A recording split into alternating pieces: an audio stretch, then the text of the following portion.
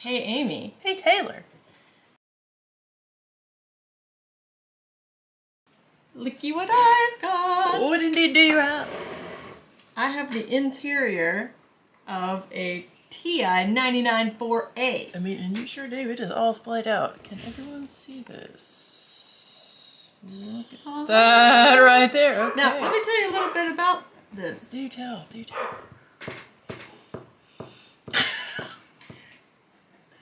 So, this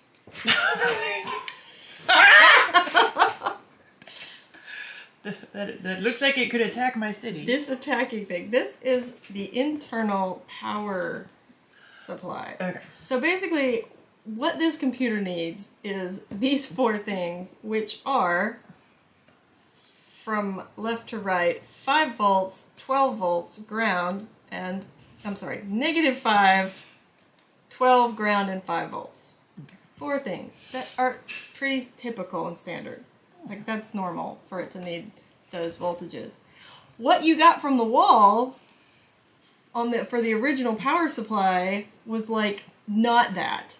It was three things ground, white and red that came in here. So if you hmm. Yeah.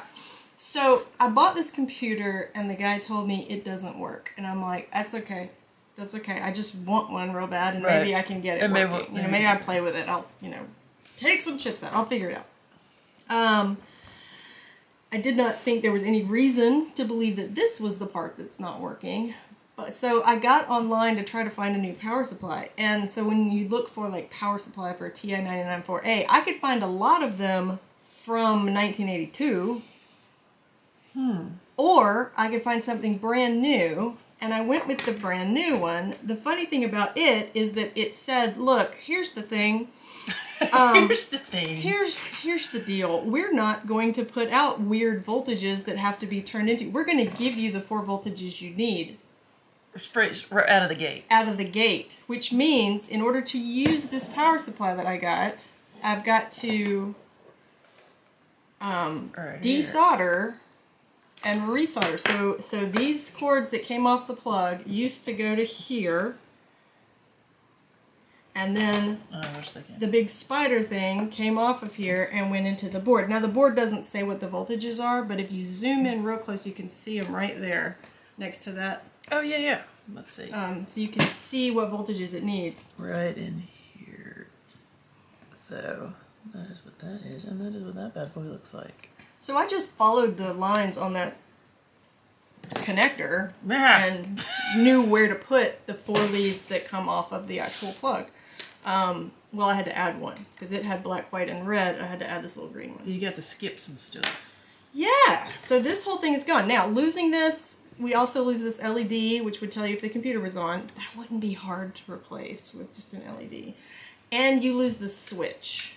So the front of the case has a nice slidey switch on it, which I've left, I'm going to leave on the case just so there's not a hole there, but it will not Do do anything. anything. The switch is now on this.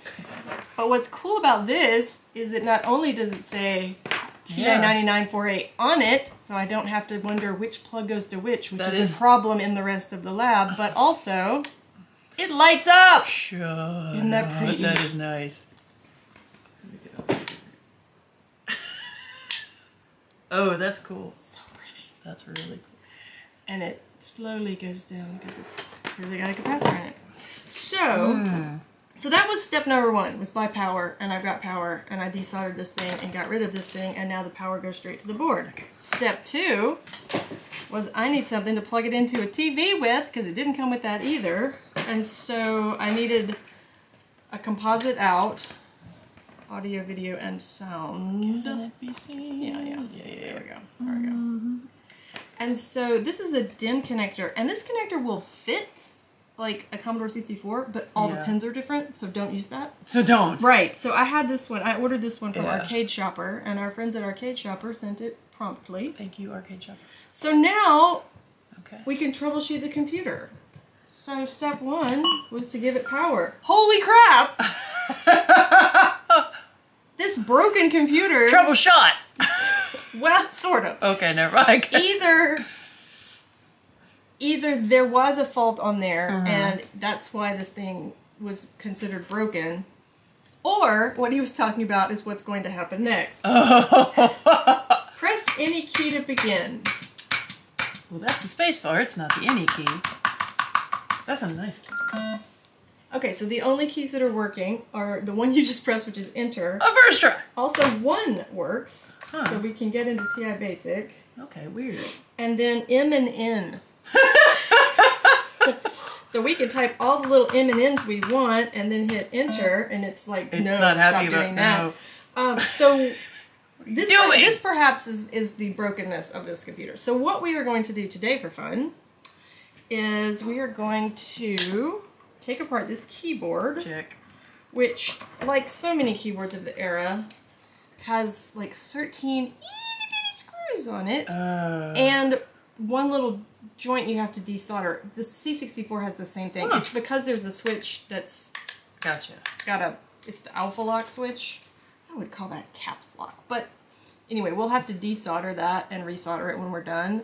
But I think we're gonna open this guy up. It's so weird because it looks so truncated. It, doesn't it looks like half a keyboard. It does, and yet all the letters That's are it. there. Um, we're going to take this apart, open it up, clean it, Yeah. and then take a look at some of the traces on there because my hunch is that some of the traces have been lifted. And then we're going to try to draw new traces there with conductive ink. Now, what are tra- are traces just where it actually has the connection? Yeah. Sort of like Easy enough. the little lines on here on the on the that are screened on the actual Gotcha. board, those are the traces. I need, I need, I want my mother to know what's happening, right? Yeah. Um, Amy's mom, we're gonna look at the little connections between the keys and the output and see if that's where the problem is. So um, now we're gonna pause it and take out all these little screws and um, heat up the soldering iron, and Yeah. then we'll be right back. Yeah, we won't make you watch us unscrew the screws. No, we gonna wouldn't do that. a We, minute. we like you too much. Okay, So many. be right back. Yeah. Just a second. It's Come on, just those champ. little bitty dudes here. Mm, Yeah, at least that won't be too bad of to, mm. to desolder. It's melted, but it won't move. Come on.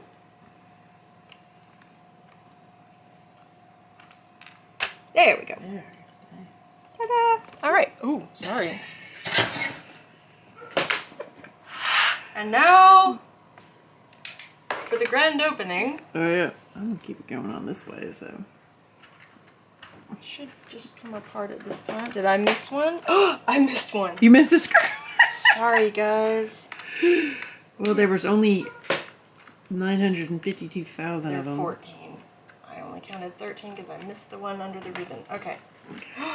yes. So that, Okay. this is the, the pad.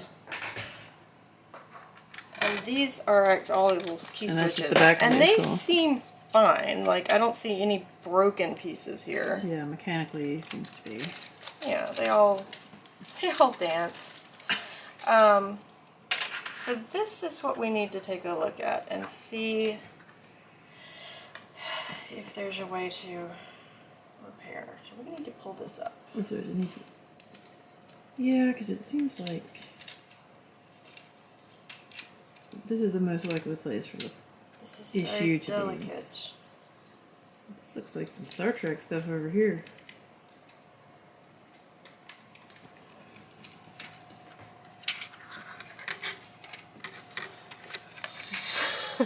What in the just really don't want to mess it up. Wow.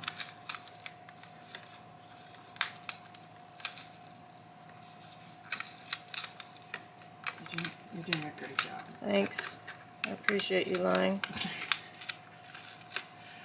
I mean, I guess I don't technically know, but it seems good. I mean, so far it's in one piece. Yeah. The fun part's going to be getting it back on. It, if, if it's even possible. Okay. Wow. So we've got all these pads. They all Yeah, look so fine. What looks dicey is th- this guy Yeah. here. Um. That does look a little janky. So what I'm going to do is I'm going to attempt to redraw those guys with conductive ink and in see if I can This is where we think the problem. improve it. Because all of this looks gorgeous. There's a little bit of dust here that comes right off with my... I mean, this is just beautiful. Yeah, it looks really neat. But that's the part where it looks less than perfect. So, um, pause. Pausing.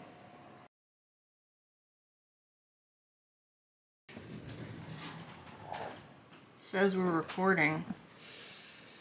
Are we being lied to? Um, gang, we had the we had the boards out, and we used this MG Chemicals carbon conductive pen. Yep, this beauty. There's lots of warnings about it. There we go. Don't use it with fire, whatever. We used this to put little dots on all of the carbon pads, including the the little traces that came down off the board. I also cleaned the contacts on the board itself, not on the membrane, and got it really shiny. Beautiful. Um, and then that worked intermittently, and then we realized we needed to um, Better yeah, get that to con- contact better. So um, we came up with a little solution for that, and it worked. And we were so happy when it worked. And then we lost all of it. None of it got recorded. We I had know. been recording and working for like two hours, and we lost all of it. We are hoping that it was this SD card. Because now we have a new one in, and if you're seeing this, then we've solved our problem. But it uh, it's been a real Been an emotional roller coaster. it's been a lot today. The good news is we got the keyboard working with the conductive ink, and so now um, press any key, spacebar. Hey, that works. Oh, look at that! Press one for TI Basic, and so then I can just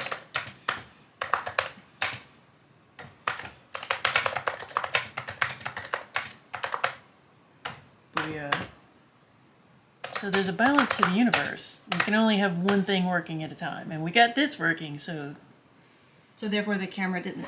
we Um, paid in camera. So now um, we're going to attempt to reenact Mm-hmm, our reaction Dramatic. when we got this to work. So at this point, we knew the keyboard worked; all the keys were Yes. were working, but we had not yet run a program on it. And so I typed this, you know, I typed the Hello World program and I hit enter. Okay, Are you ready? Okay, let me let me get my motivation. Okay, okay, ready. Okay, Okay. action. No.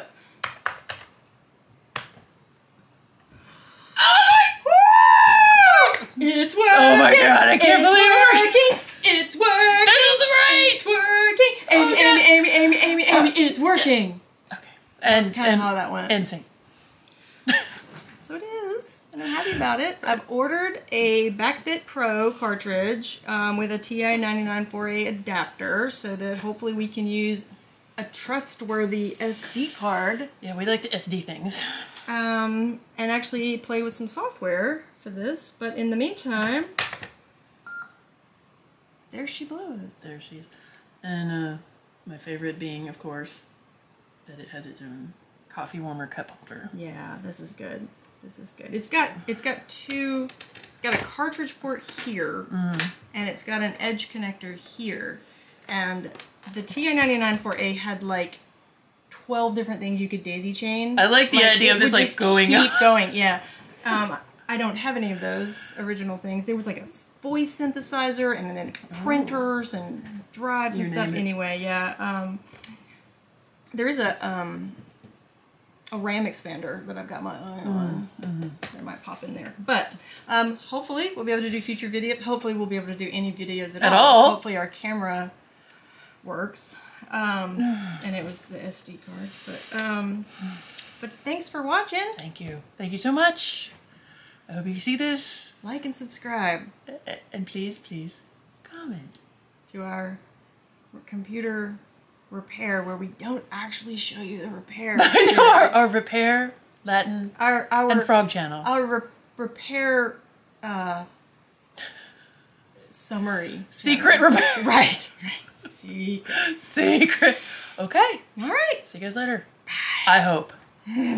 oh my gosh. Bye.